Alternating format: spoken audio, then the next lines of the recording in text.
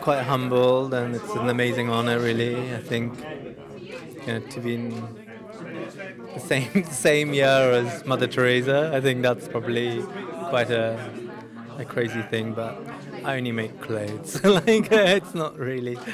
I kind of I don't know if I save lives, but I make clothes. I make people happy. I suppose she does as well. Well, it, changing the world in different ways. no, definitely. Yeah. Now it's it's there. Do you know where that's going to go in your house? On the mantelpiece, yeah. Now, what does the Asian Awards mean to you? You know, you've got one in your hand. You can feel it. What does this mean to you now?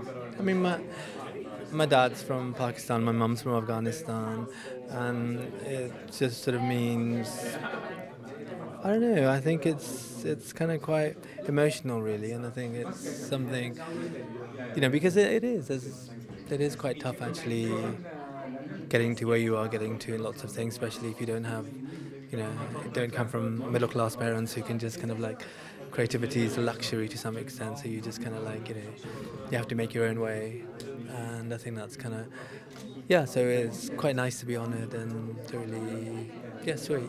Sometimes awards, when people receive awards, it sort of allows people that maybe don't understand the in-depth sort of um, ins and outs of an industry. But when someone's an award winner, suddenly more eyes are on them.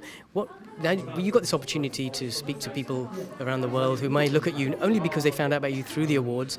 What message might you give to them to sort of encourage them in their endeavours? I think it's all about hard work at the end. I mean, I really believe. I don't think anything really comes quite easily. I don't think you know there, there are.